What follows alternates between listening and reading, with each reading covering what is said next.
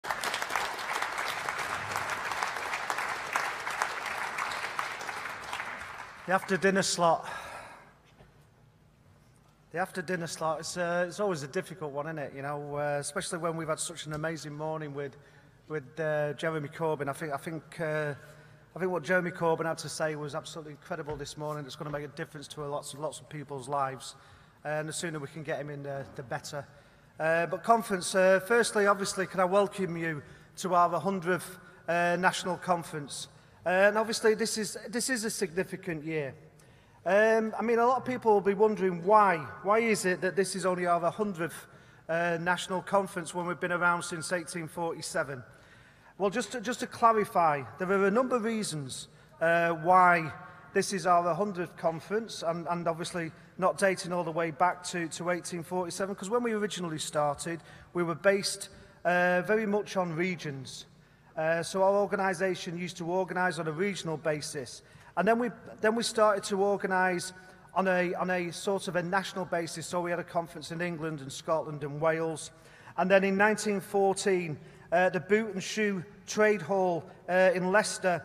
Uh, by this time, we was known as the Amalgamated Union of Operative Bakers and Confectioners of Great Britain and Ireland was when we held uh, our first national conference because that was the first time the Scottish delegation of the operative bakers joined that conference.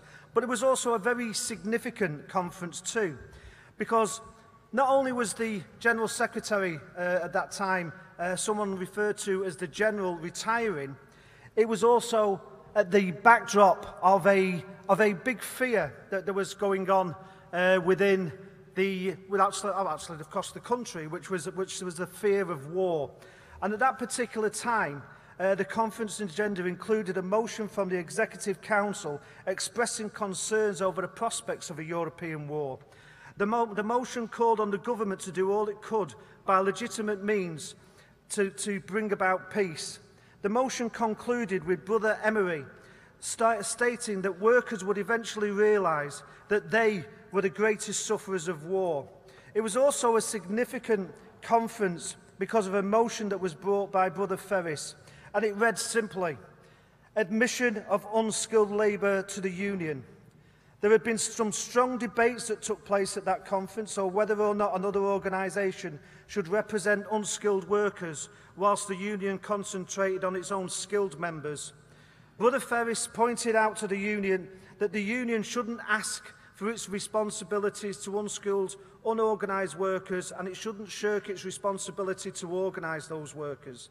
He stated that it should be the work of our union to organise and fight for them, rather than to go cap in hand looking for to support from other trade unions who may have organised them at our time of need and struggle.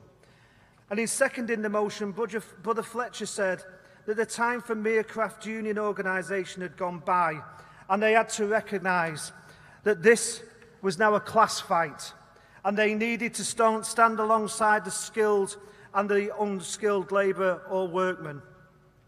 That is a significant change because I tell you now, if it hadn't been for those motions, our union today would not exist.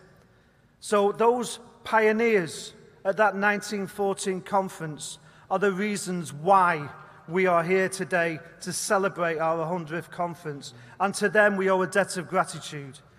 Also, a significant motion at that particular conference, alongside moving from being a organisation that's organised around craft to organising around class, was another motion. It didn't invoke great debate. There was shouts from the floor of get on with it, and that was to admit women into our trade union. So in 1914, women actually for the first time became full bakers food and well obviously operative bakers union members then and by 2000 uh, 1916 we had 2000 women in our union and most of those were in all women branches. So again, you know, we think, you know, we recognize that again we were probably pioneering the trade union movement at that time in giving access to women who not until a few years later were let into most other trade unions. So again, our union at the forefront of real change.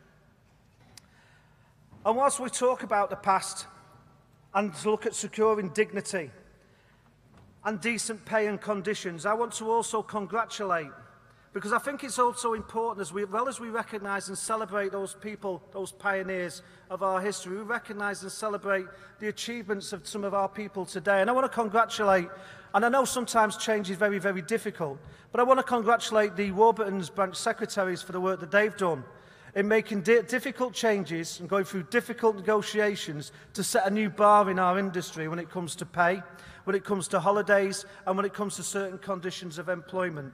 I think it's our job now in this industry to raise all of our pay to the level that they've just negotiated. And I want to congratulate every single one of those branch secretaries because our members, you know, when we're given an opportunity to vote on what they achieved, voted by over 70% to accept those changes. Those are great people and I think we owe them a, a debt of thanks for what they've just done on behalf of those workers that now makes their lives so much better. And of course, and of course, obviously, since, since we met last year, our union, our union created history.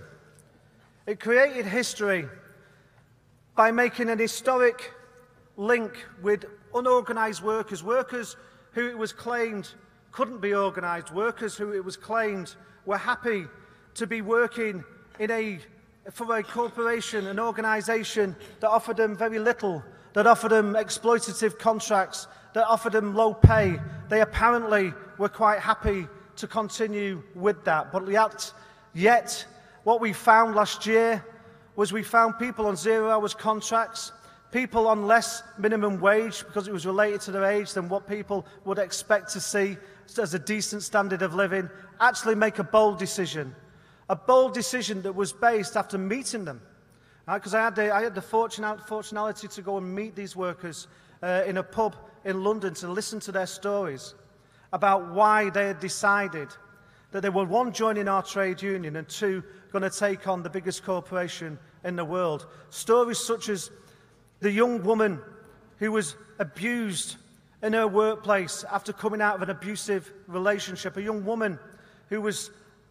told by her manager and shouted at by her manager even though he knew that she'd suffered with mental illness, suffered with depression, and suffered to get out of an abusive relationship, but yet he thought it was quite fun to shout an abuser in the workplace.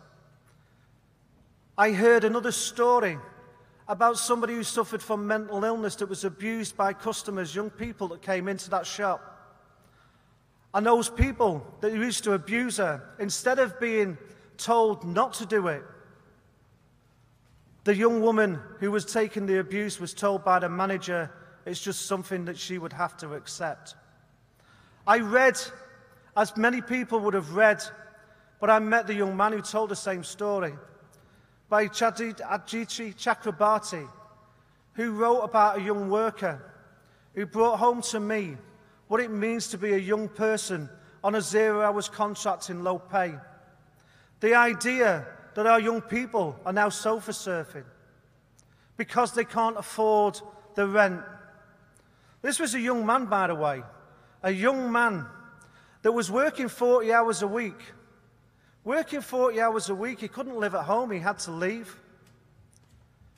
And he had to go and find a flat, which he did, and he had a job to pay for it. But because the manager that came in decided he didn't like him, Because he was on a zero hours contract, he reduced his hours from 40 to 8. So, of course, what that means is it wasn't long before he didn't have enough money to pay for his rent. He didn't have enough money to survive in that flat. So it didn't take long before he lost his home and found himself reliant just on his workmates, on his friends, on their family to find him a place to live. He was living in a car when he was actually interviewed by Dietrich Chakrabarty. 17-year-old, sofa surfing. And that's why, when I met them in this pub, and people said, I'm joining the union, because I think, I think it's wrong that I can't afford to buy my child, you know, the football boots or the trainers that they require, the school uniform that gives them the same equality of standing as the child that they sit next to in school. I think it's wrong when I go out to work and work all the hours I do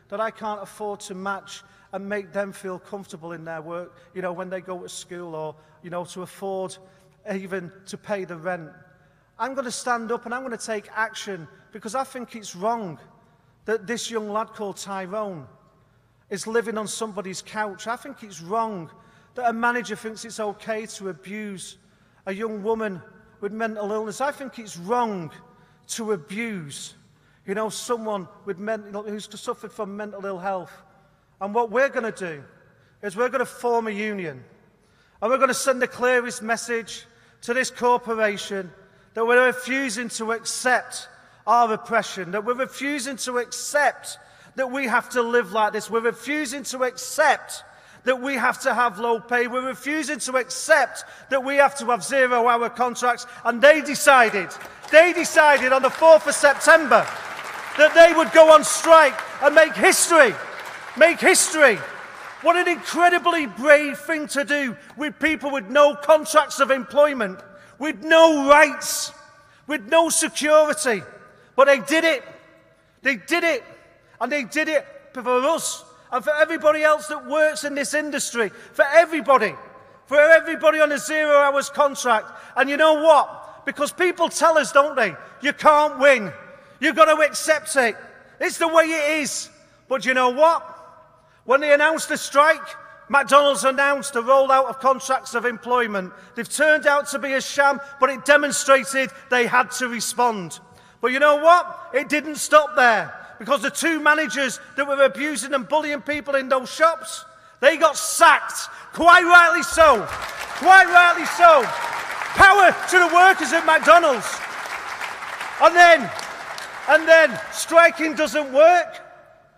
Striking doesn't work, they tell us. You can't fight back.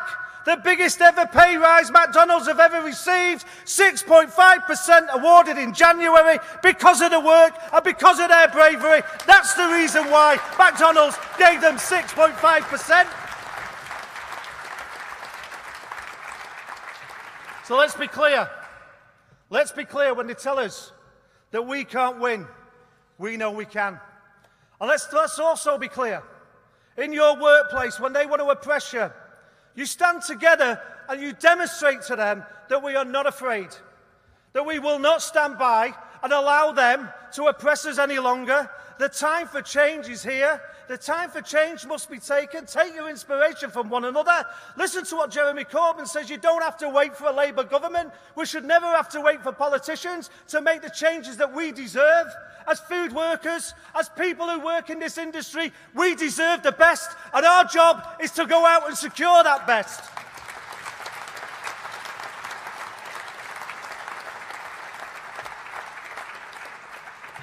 Now, obviously, in my opening speech, I also like to do a little bit of international stuff. I mean, I think it's so much going on in the world. There's absolutely so much going on in the world. There's the mass murders of people in Yemen, the civil war in Syria, the tragedy which is Gaza, Gaza, an American bloated racist in the White House uh, who thinks some racists are good people, a Tory government riddled with Islamophobia, its decision to support the Windrush generation are examples of how far politics in the UK has become detached from reality. And let me tell you this, from this conference, I'm sure we'll all agree You don't build countries on the back of racism. You build them on, on, build them on, on justice, equality, and for freedom. And that's what we stand for as a trade union. And let's also be clear, because we've read about this and we've seen an awful lot of it in the paper. It is not anti-Semitic to say that the cold-blooded murder of Palestinian men, women and children at the, Israel, at the hands of the Israeli army is not anti-Semitic. It's a fact. You know, and a lack of condemnation by the mainstream media and a good number of UK politicians betrays a complete imbalance when it comes to the handling of world affairs. Had this been President Assad in Syria, MPs would have descended to the House of Commons, foaming at the mouth, shouting and screaming for airstrikes. However, the blood of some people, quite clearly, is cons worth considerably less than the blood of others, when lucrative arms sales, when religion and suspect international allegiances are concerned, using sniper fire, drones and white phosphorus gas against protesters armed with nothing other than, than rocks, catapults and tennis rackets will never be a good look in any democracy worthy of the title. The Israeli government must be condemned It must be held to account in exactly the same way as any other country that commits such atrocities. There will be times we are powerless to fight injustice. But there will never be a time when we should accept we don't have the right to protest. We should never be afraid to speak out and we should never accept the murder of any people, no matter who they are, as justifiable. Now, there are also, there are also lots of anniversaries this year. The TUC's 150th, The Representation of the People's Act that allowed women over the age of 30 the right to vote for equal franch under the Franchise Act, which then came in in 1928, which brought the right for women and men to vote at the same age. The Northern Ireland Civil Rights Movement, the only civil rights movement ever in the UK. The Dagenham dispute, and of course 40 years since the national bread strike. But unfortunately, Unfortunately, this week we'll also have another anniversary of the tragedy that is Grenfell. I'm sure our hearts and best wishes go out to the families of the dead and to the survivors, an event that didn't need to happen. But in a society, in a society where decisions of value, not of life, are more important to those who are elected to represent us, to maintain our, our basic human rights to life, this tragedy was always likely to happen. And the shocking facts that this Tory government has failed to house these survivors after nearly a year speaks volumes about them and why we need real change in our society. The rampant racism in our media the and the Tory party means our society is divided. But let's be clear, the hardship that we are suffering is not caused by anybody born outside of the UK. It's created in cabinet offices and boardrooms of corporations that introduced zero-hour contracts like McDonald's and to avoid their paying their tax and their contributions to our economy. It's cabinet offices that enable bosses and employers to act without regard to people's working rights. So let's be clear. It wasn't a migrant that came in this country that sold off the council houses That was a political decision. And the fact that nobody bothered to build council houses, and that's the reason why people struggle to find a decent home. Put the blame where it belongs. They never, ever should be putting the blame on people who only want to come and improve their lives in our country. And you know, when you talk about freedom of movement, and I know the debate about the EU, and of course there will be stuff here about the EU, And people will say it's justifiable. We need to stay in the European Union so we can have freedom of movement. Why should your freedoms depend on whether or not we have a trade deal with somebody? What is wrong with the human right of freedom? Because you know, if you're wealthy, if you're powerful, you can live wherever you want in the world. This is a class issue. This is about stopping us from being able to prosper. This is about control. It's never been about our freedoms. Our freedom is our human right to exist and to live wherever we feel will benefit us the most and our families. And that is our right as a human being, regardless of where you're born. And you know what? When we talk about people seeking asylum,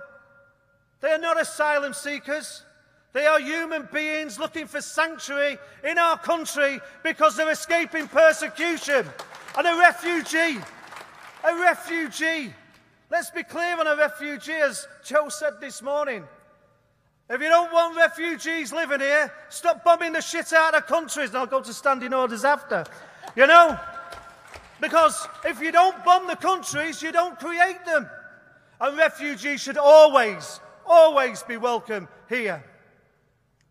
We stand in solidarity with our comrades at TGI, We stand in solidarity with those people who were protesting on the streets yesterday. We stand in solidarity with those health service workers that are on strike uh, over in Wigan. We stand in solidarity with all working class communities.